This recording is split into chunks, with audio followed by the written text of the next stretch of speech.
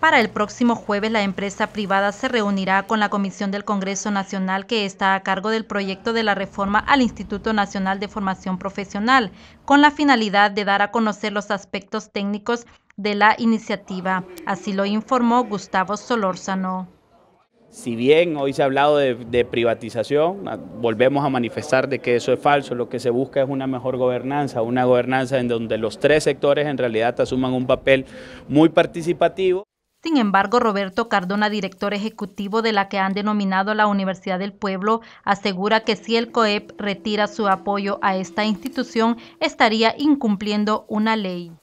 Porque hay una ley que dice que el empresariado está obligado a pagar sus aportaciones. Si el COEP quiere cambiar esto, entonces tiene que cambiar la ley. Tiene que ir a hacer un cambio en la ley fundamental de la educación. Tiene que ir a cambiar la constitución de la República.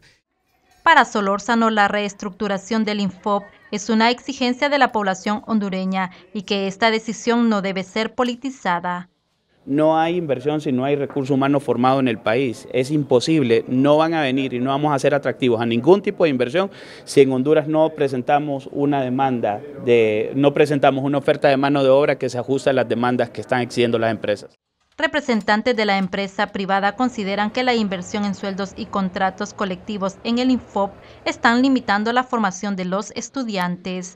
Desde Suyapa Medios y Notifide le invitamos a fomentar una cultura de paz. Con imágenes de Aníbal Recarte les informó Lilian Flores.